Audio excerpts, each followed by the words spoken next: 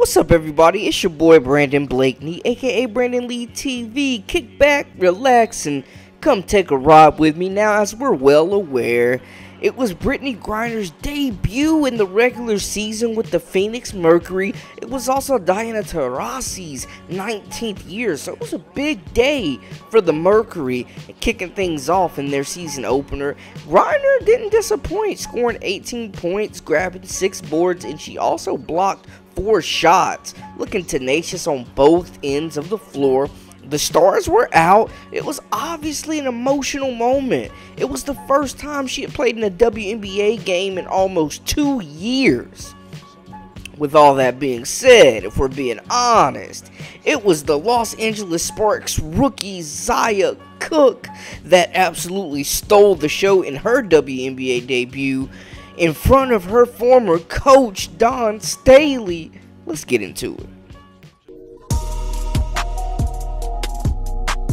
You are now locked into the Live with Brandon Blakeney podcast. Here is your host, Brandon Blakeney. Zia Cooke is one of the most decorated college players in the entire WNBA. Expectations are big in LA, and she delivered scoring 14 points in just 15 minutes. Talk about a spark plug.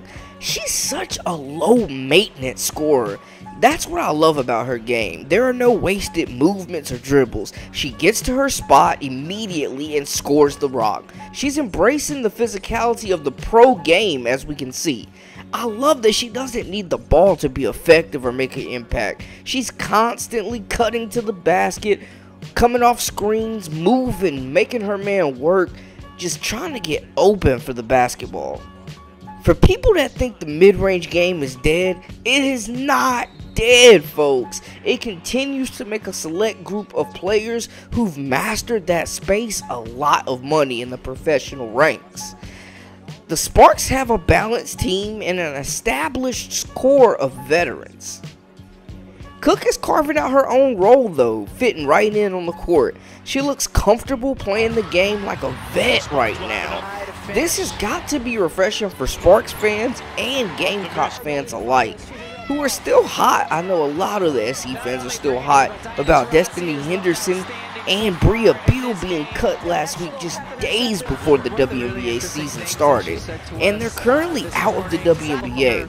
But with the way Cooke and teammate and former teammate, I should say, Aliyah Boston have debuted with their teams, Aliyah Boston scoring 15 points in consecutive games over this weekend. The way these two have debuted is just proof, more concrete proof that Coach Dawn Staley is absolutely preparing these ladies for the WNBA. And the Sparks have got to be thrilled with their draft pick. Cooke is just out there. I know it's an early sample size, but man, that is what you want to see. That is what you want to see. Ah, man, just her continuing to be aggressive throughout this long season.